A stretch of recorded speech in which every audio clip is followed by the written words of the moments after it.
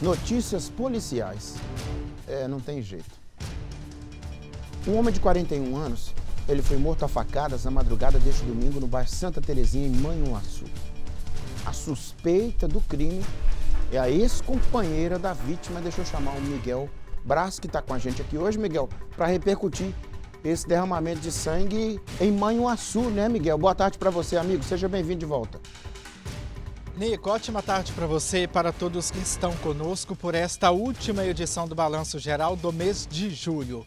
Como já foi adiantado, esta ocorrência vem do bairro Santa Terezinha, em Manhuaçu. De acordo com a polícia militar, Vanderlei Rufino, de 41 anos, foi esfaqueado quatro vezes durante um desentendimento com a suspeita de 46 anos. O homem foi socorrido ao hospital da cidade e, mesmo ferido, Nico, ele conseguiu relatar para as autoridades que a motivação da mulher o agredir seria porque ele teria negado dinheiro para ela comprar drogas, ou seja, ela pediu a ele dinheiro para comprar drogas e ele negou. Com isso, a mulher pegou uma faca e desferiu quatro golpes contra o homem. Mas a ocorrência também traz a versão da mulher. Ela contou para a PM que o suspeito teria pegado algumas peças de roupa dela e jogado na lama. Com isso, iniciou-se a discussão e ela pegou a faca para se defender. O tenente da Polícia Militar, Marcos Vieira, está conosco e conta mais detalhes sobre esta ocorrência.